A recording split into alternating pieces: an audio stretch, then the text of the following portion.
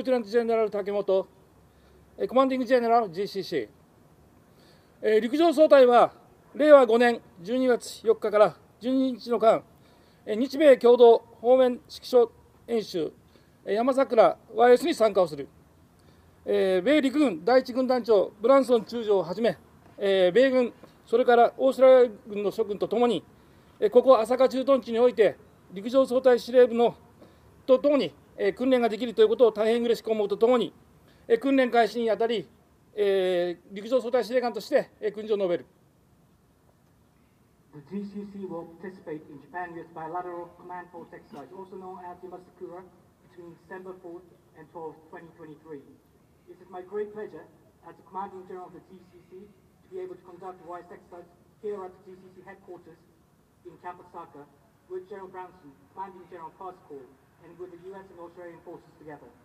I'd like to touch upon a few things as we start exercise.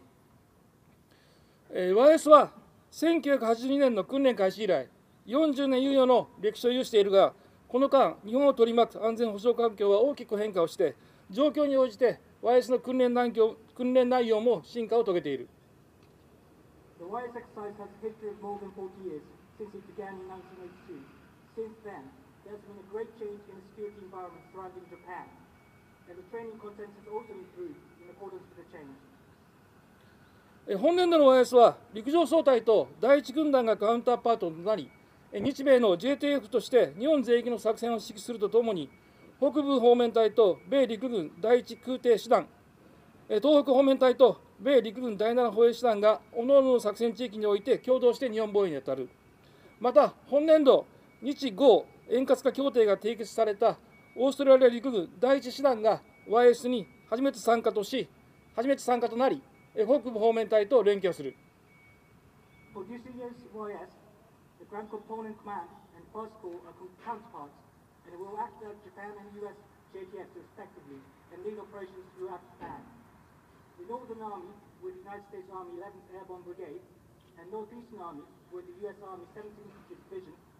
Defend Japan bilaterally in each area of operations. This year, Japan and Australia signed a reciprocal access agreement and Australian Army 1st Division is taking part in the WISE exercise for the first time, and they will collaborate with Northern Army. 一方、現下のリアルワールドの国際情勢を目を向けると、ロシアのウクライナ侵攻、中東におけるイスラエル・ガザ紛争と、2つの地域において大規模な紛争が盛起し、世界の安全保障保障や経済活動に大きな影響を及ぼしている。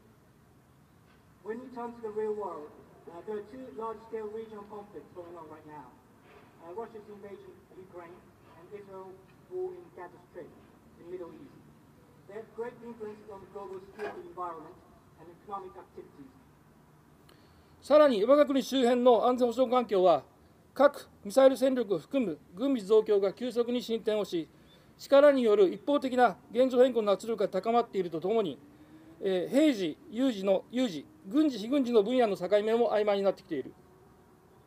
With regard to the security environment surrounding Japan, uh, there is rapid military build-up, including nuclear and missile forces in the region. There is also coercion or unilateral change of status quo by force. While the line between peace and contingency or military and non-military activities is becoming unclear. これらの情勢下、日本において、日本、アメリカ、オーストラリアが共同で大規模な指揮所演習である YS を実施することは、共同作戦能力の実効性をより向上させることはもとより、日米豪の絆の強さを部内外に発信をし、東アジアにおける抑止力、対処力をより強化ならしめ、自由で開かれたインド太平洋地域の安定化に貢献できるものと確信している。That conducting a large-scale Japan with Australia CPEC in the name of YS will not only greatly contribute to enhancing bilateral operations capabilities but also demonstrate a strong bond among the three nations, both internally and externally, which will reinforce our deterrent and response capabilities in East Asia. I am totally convinced that it will contribute to stabilizing free and open Indo-Pacific region. これらの認識のもと、訓練開始にあたり、二、えー、つの要望事項を述べる。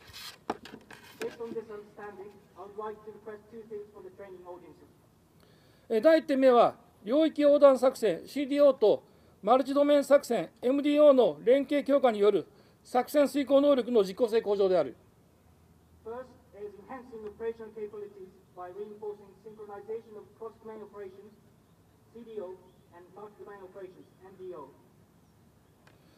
陸自は CDO を米陸軍は MDO を進化中であり、オーストラリア陸軍もこれらの新しい戦略環境に向け適合すべく、それぞれ試行錯誤を重ねながら戦力向上へ挑戦を続けていると認識している。それぞれの戦力化の CDO、MDO を相互連携させることは、それぞれの防衛力をより向上させるために極めて有効な手段である。The Grand Self Temple should be in CDO, while the US Army is doing the same with MDO. The Australian Army is also making efforts to adapt to the new security environment brought about by these concepts. Each of the forces is challenging to operationalize these. Synchronizing, still developing CDO and MDO is extremely effective for advancing each of our defense capabilities. これまで陸上自衛隊は、米陸軍、それからオーストラリア陸軍とタリスマンセーバー、オリエントシールド、YS 事前訓練と実動、実射、指揮所訓練等を通じ、逐次に連動を積み上げており、これらの成果を含めて本 YS に反映させ、より作戦遂行能力の実効性を向上させてもらいたい。Up now, uh, JGSDF has steadily enhanced its capabilities with the US and the Australian Army through field exercise, live fire exercises, and CPXs, such as Talisman Sabre, Orange Shield, and White Preparation. We'd like you to reflect the lessons learned from these exercises on this YS in order to further improve our operational capabilities. 第2点目は総合運用性の向上である。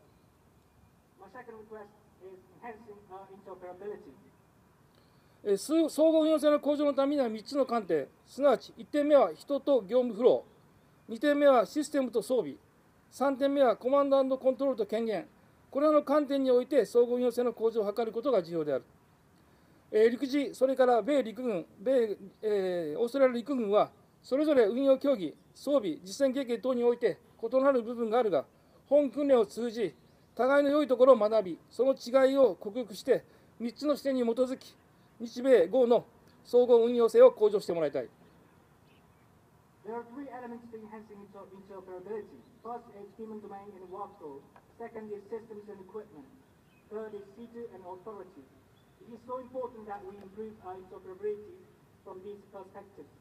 Although there are differences in nature of operations doctrine, equipment, and real experiences among JGSDF, US Army, and Australian Army, we will learn from each other through this exercise.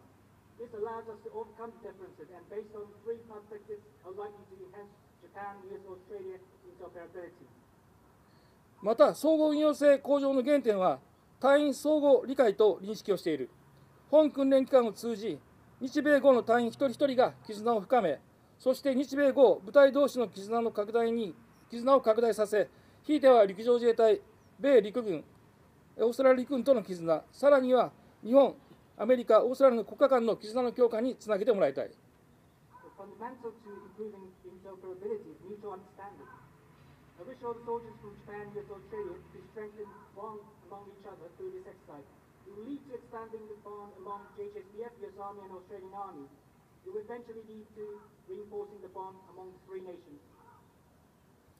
以上、ワイス開始にあたり、要望事項を述べたが、本演習の成功は、ここにいる一人一人の努力にかかっていることを肝に銘じ、自らの使命を自覚し、その責務を完成してもらいたい。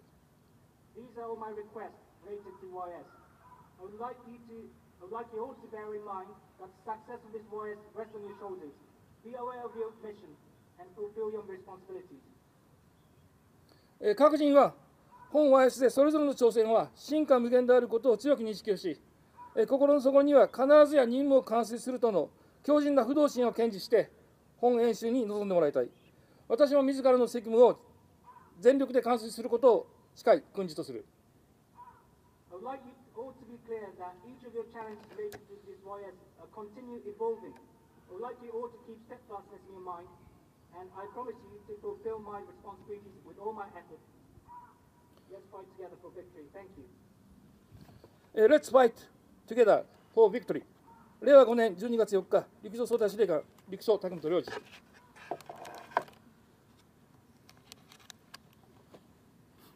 ありがとうございます。Thank you, sir. 続いて、米陸軍第一軍団長、お願いします。